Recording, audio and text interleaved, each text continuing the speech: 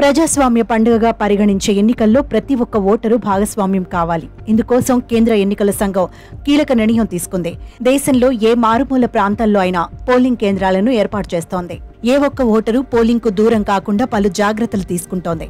ఒక్క ఓటరు ఉన్నా అక్కడ పోలింగ్ కేంద్రాన్ని ఏర్పాటు చేస్తోంది. తాజాగా అరుణాచల్ ప్రదేశ్లోని ఓ మారుమూల గ్రామంలో ఓ మహిళా ఓటరు కోసం పోలింగ్ సిబ్బంది దాదాపు ముప్పై తొమ్మిది కిలోమీటర్ల దూరం ట్రెక్కింగ్ చేసేందుకు సిద్ధమయ్యారు.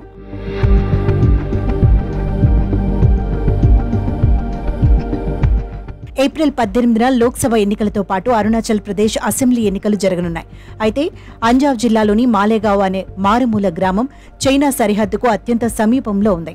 అరుణాచల్ ఈస్ట్ లోక్సభ హుయులియాంగ్ అసెంబ్లీ పరిధిలోకి వస్తుంది. ఇక్కడ కొన్ని కుటుంబాలు ఉన్నప్పటికీ వారంతా వేరే పోలింగ్ బూత్ పరిధిలోకి మారిపారు సోకేలా తయాంగ్ అనే మహిళ మాత్రం అందుకు నిరాకరించారు. దాంతో ఆ మహిళ కోసం కేంద్ర ఎన్నికల సంఘం కీలక నిర్ణయం తీసుకుంది.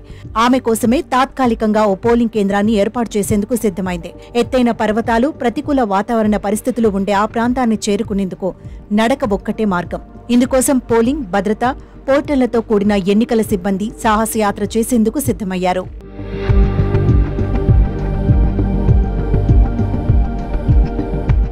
రెండు వేల పద్నాలుగు ఎన్నికల సమయంలో మాలేగావ్ గ్రామంలో రెండు ఓట్లు ఉండేవి. ఒకటి తయాంగ్ మరొకటి ఆమె భర్త ఓటు.